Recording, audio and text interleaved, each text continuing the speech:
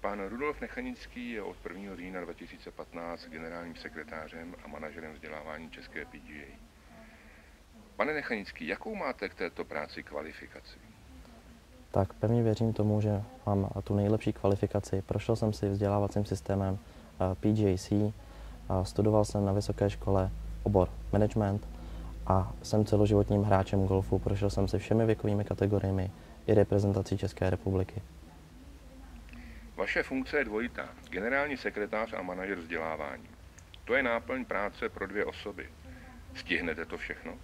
Jsem přesvědčen, že jsem schopen obě tyto, oba tyto směry mé funkce časově pokrýt.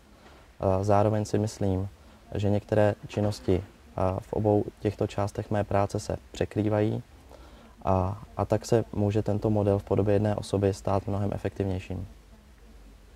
Co bude vaše funkce obnášet a jaké k tomu budete mít pravomoci?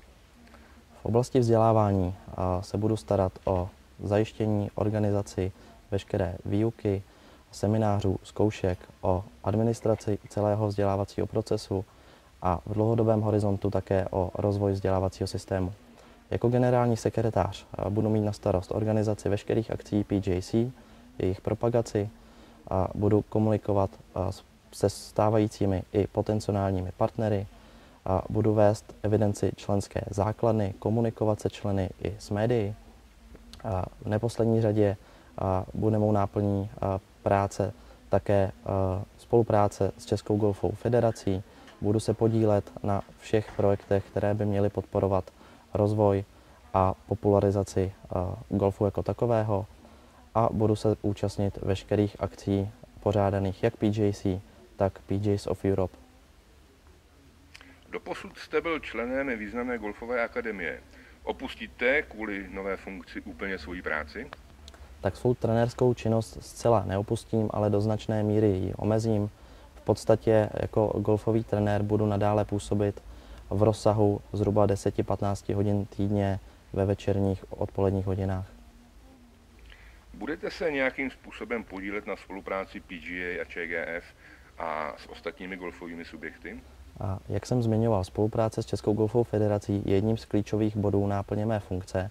Na tuto spolupráci se velmi těším a pevně věřím, že se společně zasadíme o další rozvoj golfu v České republice. Je něco, co byste z hlediska své funkce chtěl změnit nebo zlepšit na chodu PGAC? Samozřejmě mám určité názory a představy na směrování PGAC. Některé své vize jsem představil členům představenstva a v mnoha bodech věřím, že došlo ke schodě. Nyní budeme hledat priority a budeme se snažit o jejich naplnění. Zbude vám také čas na golf, eh, přítelkyni nebo rodinu? A já jsem byl značně vytížen pracovně uh, již nyní. Uh, zvládal jsem skloubit tyto povinnosti i se studiem.